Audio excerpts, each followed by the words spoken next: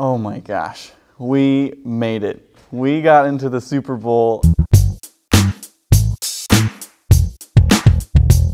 This fall, we started a social media campaign with the hashtag UMN March with JT that gained a ton of momentum.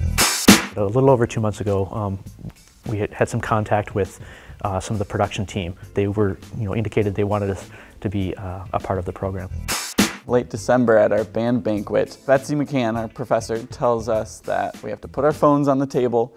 We can't touch them, we can't do anything. And I knew it was coming. We started playing the video. I turned around to, you know, to watch all the reaction.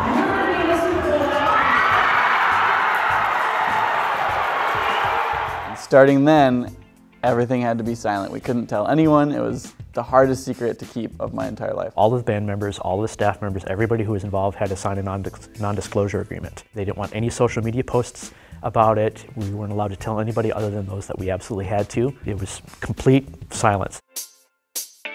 We got the music right after winter break about, and then we started rehearsing here at TCF Bank Stadium. At the beginning of the week, we actually had a recording, se uh, session, recording session over in Ted Mann with Dante Winslow and a few other members of the production team. And then finally, we got to go rehearse in US Bank Stadium. JT is a character. He is so hardworking, so friendly to all of us. It was really cool to just see a professional at work. Um, he is insanely talented, dancing, singing.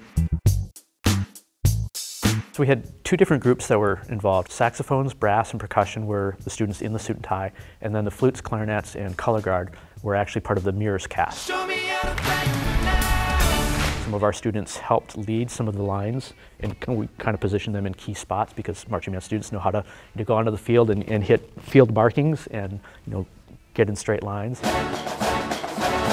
Being in suit and tie was incredible. It, time kind of just froze.